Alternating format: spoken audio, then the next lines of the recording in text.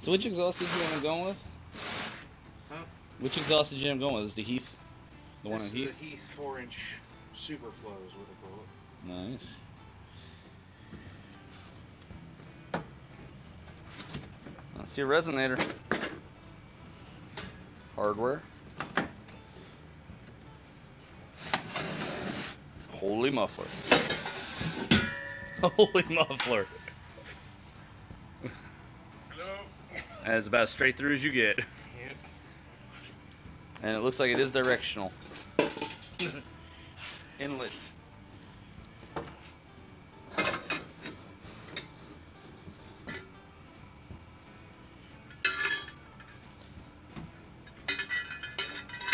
Is that a pyrometer bung right there? Uh, it's a bung of some nation, nationality.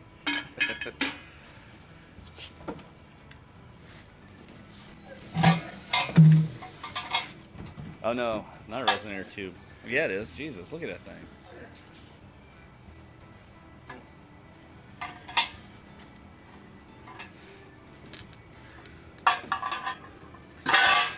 Clearance there, it looks like.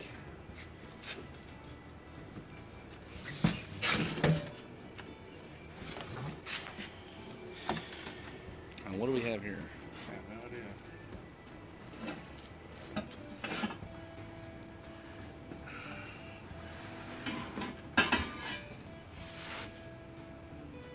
Large 45 degree bend.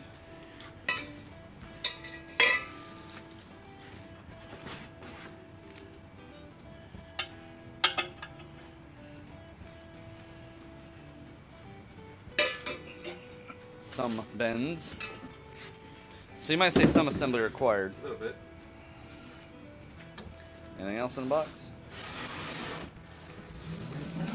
More giant pipe. You got giant has filings in it.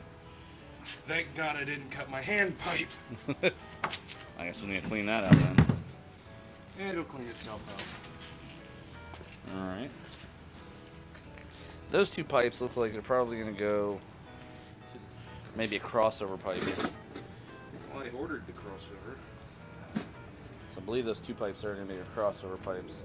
And then I'm not sure which of these guys would be your down pipe. Maybe the big guy there, but that's that two bolt flange. What the hell does that go to? Hardware. No instructions. Figure it out. It looks like everything actually gets kind of clamped together. Well, that's got a ball end on it too, cause so that This Oh. my axle. That's the over the axle pipe. All right. You know what though? Look at the way this is set up. This doesn't come up on this. This, I'm pretty almost certain it's gonna meet up here. It's a ball flange. And those two bolt together. So that may come off the turbo. Two large bolts. All right, so we follow this back. Somewhere back here is probably going to be where we go up over the axe. Well, no, actually, you're probably going to have your your muffler. So muffler extension up over the pipe, and that's your output. I would assume so. I think we've got this figured out.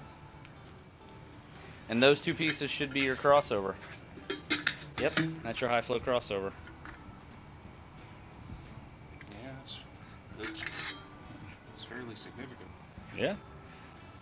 Yeah, certainly be a up, nice upgrade of that, plus all mandrel bent. Alright, yes, next step will be taking the old setup apart. Oh, we need airflow. God, do we.